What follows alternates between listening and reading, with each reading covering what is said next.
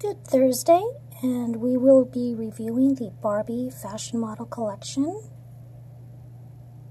the Classic Cocktail Dress Barbie. You are looking at the back of the box, and I opened her last night, so let's flip her over. The tissue. And let's start from the feet to the top. Adds more suspense. Here are the shoes, the tights. Let's look at those shoes again. Do they have little bow ties? No, they're just regular pumps. Textured stockings, pantyhose. Here's the tea-length dress. Layer underneath. The embroidery. Black sash at the waist. Doll stand bodice. And there she is, gorgeous. Cute beauty mark, your earrings with a plastic container. I don't think they're rooted eyelashes for Silkstone, but I love her button nose and her lips. Okay, we will debox her soon.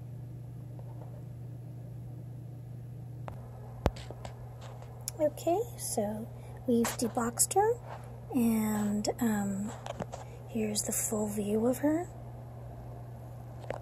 Let's turn her away on the back, profile.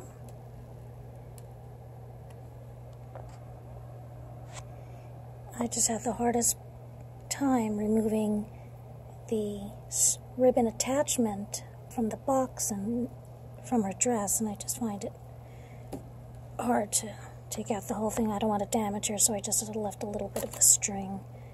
But her dress doesn't fit in the back there.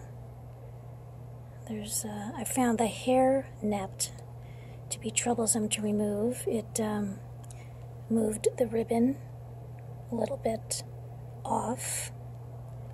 So, I mean, she's she's actually just lovely. Everything about her is lovely. Um, I like her makeup, her hair, her face, mold. Um, her earrings fit well with her fashion. Her shoes, everything coordinates, color scheme. She's, she's a stunning display doll. Very stunning. Let's fix her head a little bit there and she has articulation right there. I find it a, little bit hard to move, her articulation, but otherwise, she is a beautiful display doll, and she's the second of my posable silkstones.